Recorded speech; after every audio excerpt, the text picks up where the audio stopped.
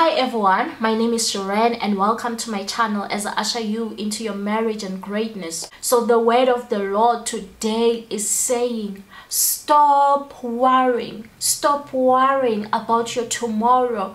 Stop worrying if you are going to get married or not. Stop worrying about tomorrow. God is saying that He sees your worry and worry has never even added a single day to your life. All it's going to cause you is stress and even shorten your days. So God is saying in Matthew 6 Verse 25 that do not worry about your life, what you will eat or drink, or about your body what you will wear. And in verse 27 says, Can any one of you by worrying add a single hour to your life?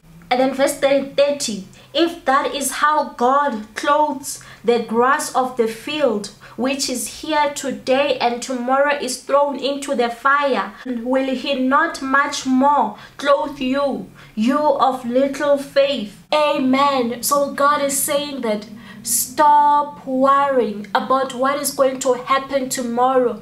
God is going to clothe you. Yes, right now you feel exposed because you are alone. Right now you feel exposed because you don't have enough finances. You feel like you can't take care of your family. But God is saying that He's going to make a way. He's going to provide for you. If it can provide for the grass, provide for the birds, and even clothe them, what more can He do for you? He will even do so much more for you in the name of Jesus.